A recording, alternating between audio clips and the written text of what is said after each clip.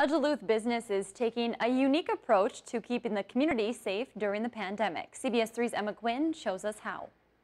Advantage Emblem, a local screen printing company, is hoping to help the community by opening pop-up shops where they're selling masks and other protective equipment all in hopes to prevent the spread of COVID-19. Since local stores have been running low on supplies like masks and hand sanitizer, Advantage Emblem decided to restock the community. The business was able to get supplies like N95 masks, reusable masks, as well as UV lights, which are used to help disinfect surfaces. The pop-up shops have been open for roughly three weeks at several locations around Duluth. We've been bringing masks in since March um, and a lot of uh, government agencies have been purchasing them.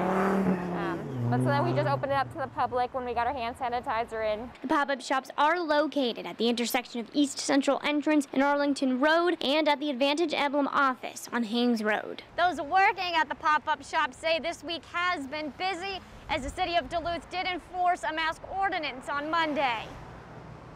The pop-up shops are open 8 a.m. to 5 p.m. Monday through Friday.